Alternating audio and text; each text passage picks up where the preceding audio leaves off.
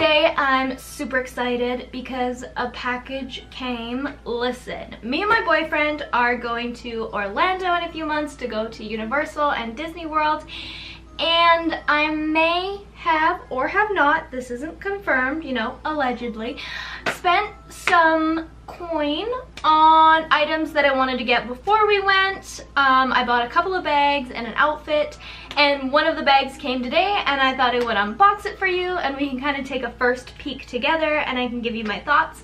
So let's get right into it. Have this beast. Look at how big this is. This literally like what? so I did buy this bag from Dolls Kill. I have had my eye on this bag for so long and there's been a couple of different versions on the website like in different colors and then this one came out and I was like, hello? Is it me you're looking for? Like that's exactly what my heart said. Let's get run into it. Oh, she, she thick with two C's, girl. She, she thick bag stuff. Oh, this is quite nice actually. It's got like a bag within a bag within a bag. With, it's a bag? How many bags? I mean, I don't think we needed this plastic one over top of this, but like, hey, who am I to, who am I to judge Dolls Kill? Who am I? Oh my god, I'm so excited. I'm so excited. Okay, so it's in the little mesh coating and, oh, oh, Good girl, they knotted it. Who knots it? Come on. Oh, oh my god. It's such a nice bag. You, some of you are gonna just fucking hate this. I can tell already that you're just gonna be like, that's so hideous. Why would you spend any amount of money? It's still too thick, girl. Why would you spend any amount of money on that? Can you tell? Can you tell? Ah, uh, it's like fuzzy. It's got like hair. Is it not sickening? Is it not sickening? Look.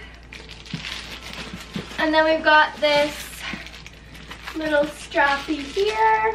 I'm gonna do some up close shots in a minute. I'm just gonna finish unpacking it and then I'll be right back.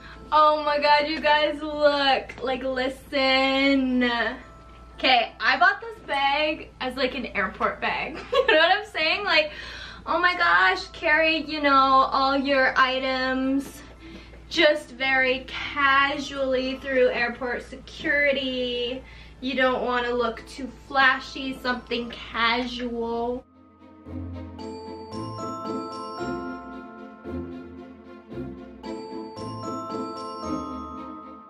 Okay guys, sorry, uh, let's Fucking what the fuck.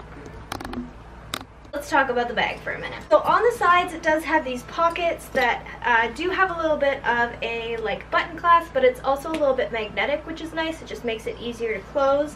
It does have this long adjustable strap which is nice. You can kind of change the length. I made it just a little bit longer because before it was like sitting like up here. When you open it up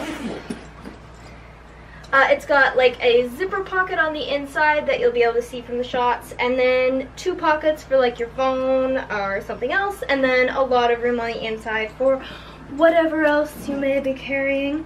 I do like too that it has the difference in like this strap versus if you just want to carry it because it does have a very like duffel bag sort of style so uh, your girl likes options. It fits good. It's made of really nice leather. It's not made of anything cheap. Uh, this is like a current mood product so if that's a brand that you're into that's who makes it. And yeah i'm super pleased with this. Um, this is a bit on the pricey side. It's $50 US um, so I think that came to, it was quite expensive with shipping plus customs plus um, the uh, exchange rate. I'll put whatever the price was here. It didn't take that long to get to me though. I think it took actually less than a week, which is nice because that never happens, especially if you live in Canada. Super pleased with this and I'm super excited to use it and take it with me to Orlando and the airport and all that good stuff. I don't know, it might be a weird size for the airport, I'll have to see.